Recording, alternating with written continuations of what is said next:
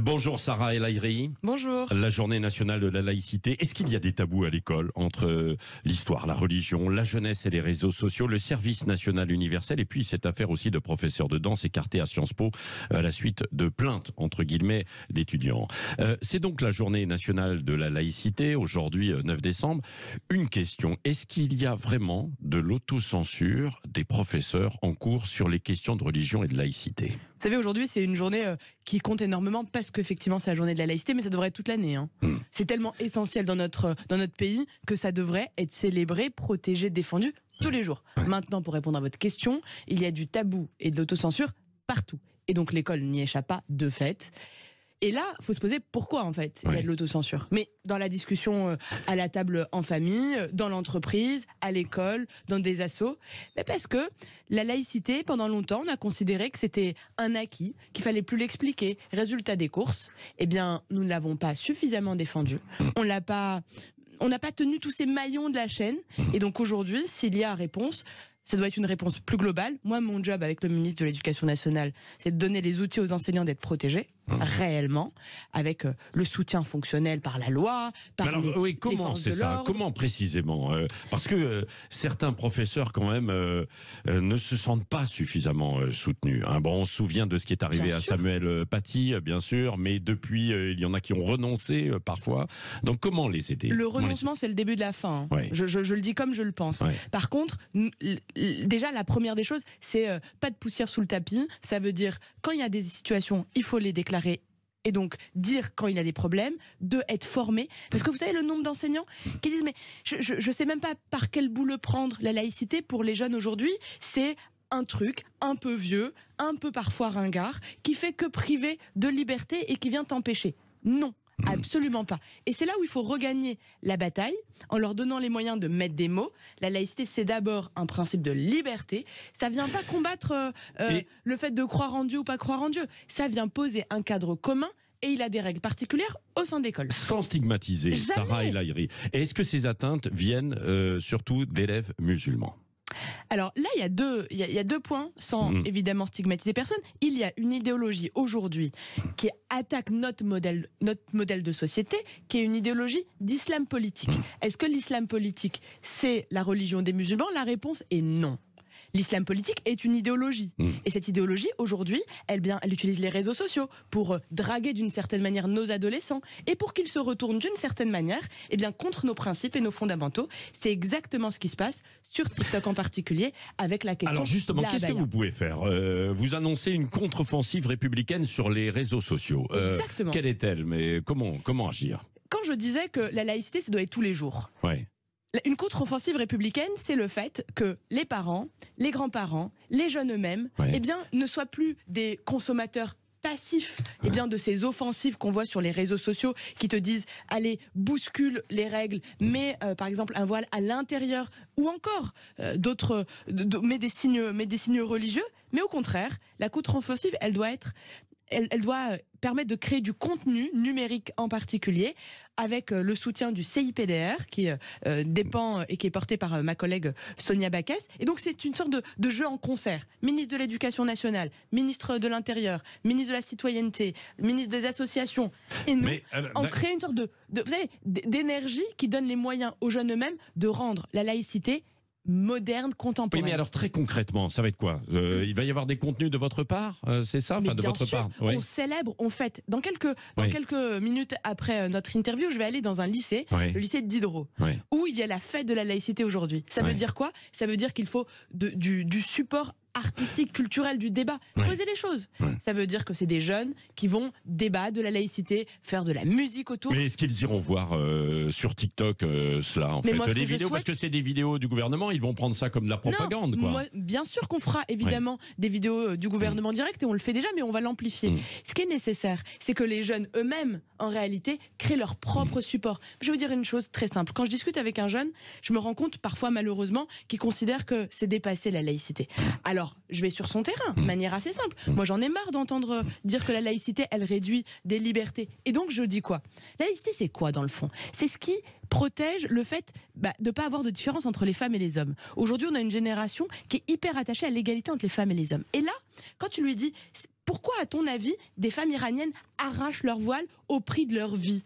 Parce qu'il se trouve qu'en Iran, il y a la loi de Dieu qui porte et qui pèse plus que la loi, eh bien, euh, qui reconnaît l'égalité. Et puis tu vas plus loin. Pourquoi aujourd'hui, en Chine, les Ouïghours sont euh, fondamentalement eh bien, euh, bousculés, oppressés par le régime chinois? C'est encore pour des raisons confessionnelles. Et donc là, tu te dis, mais la laïcité, c'est exactement l'inverse. C'est ce qui permet à chacun, qu'il croit ou qu'il ne croit pas, de pas avoir être, jugé par rapport à ce prisme-là. Ça, c'est mon job.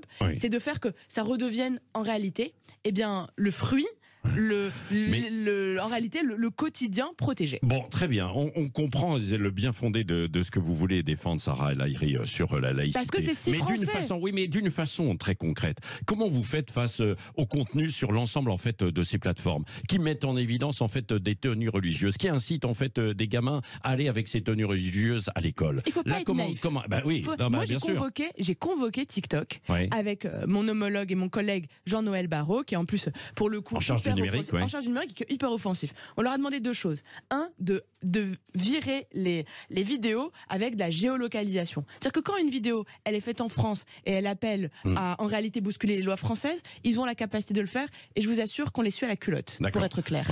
Et puis, il y a aussi une offensive qui est portée, nous, avec les enseignants et avec des capacités à signaler. Et donc, on crée du, contre, du contenu contre-offensif. Et hmm. c'est là où j'ai besoin de la mobilisation de tous.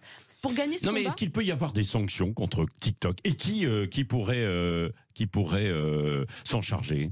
Est-ce qu'il y a une instance en charge de ça ou pas Aujourd'hui, moi, j'ai aujourd'hui, il y a des offensives, il y a des instances, bien sûr. On peut engager la responsabilité des uns et des autres, mais C'est qui C'est l'Arcom, c'est des ministères? Il y a l'ANJ, mais sur d'autres d'autres sujets au-delà euh, de la, de, la diffusion de vidéos. Et donc la question, c'est comment les signalements sont plus rapides et plus effectifs. Hmm. Il y a TikTok, Snapchat, Twitter, Facebook. En fonction de ces algorithmes, il y a euh, comment dire Il y a des, différences d'appréciation. Moi, ce que je veux, c'est que on sorte de ces euh, chipouilles euh, en réalité et que quand une vidéo est et crée du trouble dans notre pays ou essaye de fragiliser ce qu'être français, alors on la bloque. Oui, euh, le service national universel, vous en êtes en charge. il y a l'idée de le rendre obligatoire pour les jeunes. Ça va venir ou pas ça? Soyons très clairs, le service national universel, c'est d'abord, euh, c'est d'abord euh, une aventure qui permet aux jeunes de se rencontrer, euh, de vivre un temps où bah, on, célèbre la France, on lève un drapeau, on fait du sport, on crée de la mixité sociale, où il y a le goût aussi, d'une certaine manière, de l'effort collectif. On quitte son département pour la première fois. C'est presque 60 000 jeunes qui l'ont fait mmh, depuis. Mmh, on est à un moment aussi où eh bien, il y a plusieurs hypothèses qui sont, euh, qui sont sur la table. On fait des retours d'expérience et le président de la République euh, aura l'occasion de revenir sur les conclusions du service national universel et donc ses évolutions futures. Bah, écoutez, euh, dans les prochaines semaines, prochains mois. En janvier, en février, le service national universel va devenir obligatoire ce que je suis en pour train les jeunes? De Non, ce que je suis en train de, bah, non, ce que je suis en train de vous dire, ah non, ce que je suis en train de vous dire, c'est qu'il y a des hypothèses qui sont étudiées. Nous sommes en train de faire un état des lieux et un bilan. Et de fait, mais on se dirige plutôt vers ça ou pas? Ce qui est certain. Non mais attendez, une indication. Mais ce qui est certain, c'est qu'aujourd'hui, les inscriptions du service national universel sont ouvertes et tous les auditeurs que ça intéresse, mm. parce que c'est des jeunes de 15 à 17 ans, moi je les invite à aller sur snu.gouv.fr et de regarder ce que c'est. Parce que dans le fond, allier euh, engagement, sport, un peu de patriotisme, euh, d'une certaine manière, euh, responsabilité individuelle et goût de l'effort. Aujourd'hui, ça s'appelle le service national universel et c'est encore trop peu connu à mon goût. Et ce qui est certain, c'est que les parents et les jeunes adorent. Vous, vous y êtes favorable pour le rendre obligatoire, Sarah Il moi, la plutôt. Mission, ah non, mais quand on vous entend. mais moi, la mission que m'a donnée le président de la République est très claire. Il m'a dit, avec le ministre des Armées, Sébastien Lecornu, et avec le mm. ministre de l'Éducation nationale, Papendiaï, tu as, tu, as, tu as comme mission de créer le plein déploiement et la généralisation. C'est ce que je suis en train de faire avec euh, plusieurs hypothèses. Oui. La gratuité du préservatif pour euh, les 18-25 ans en pharmacie euh, l'année prochaine, dès le 1er janvier. Pourquoi? Parce que c'est absolument essentiel euh, pour les jeunes de se protéger, de rappeler que il y a à peine quelques jours, euh, on se rappelait à quel point le sida avait fait euh, des ravages. Aujourd'hui, on est en train de voter, en train d'inscrire dans la Constitution, le chemin a commencé, le droit à l'IVG.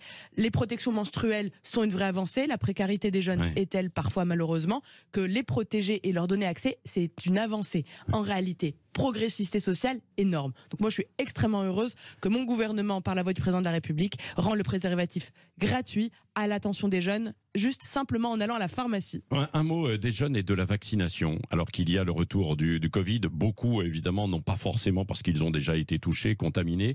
Euh, quelles sont vos recommandations? Ou alors que le, ministre de la Santé va se prononcer cet après-midi sur le port du masque potentiellement dans les transports. Très sincèrement, on a vécu ensemble une période assez dingue de vraiment avec les confinements. Aujourd'hui, il y a les fêtes de Noël. Je crois on aime tous nos familles. Mmh. Euh, le plus simple et le plus judicieux, en tout cas, c'est la liberté de le faire. Mais si on aime les gens, on le fait. On va à la pharmacie. On dit qu'on va voir euh, son grand-père, sa grand-mère ou ses parents et qu'ils sont peut-être euh, âgés. Et donc pour eux, se vacciner, c'est aussi les protéger. Il faut rappeler que il y a quand même un pic à nouveau qui arrive.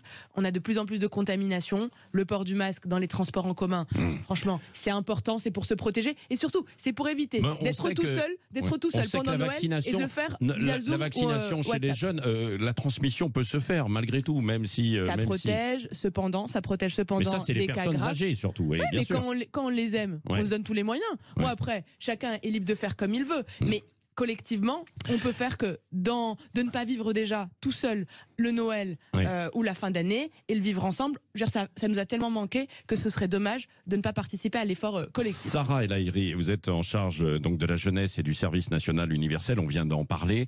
Il y a cette histoire, cette professeure de danse à Sciences Po Paris qui a été écartée parce que pour des propos jugés sexistes et discriminantes parce que grosso modo, elle, elle voulait dire homme et femme et pas euh, leader, follower.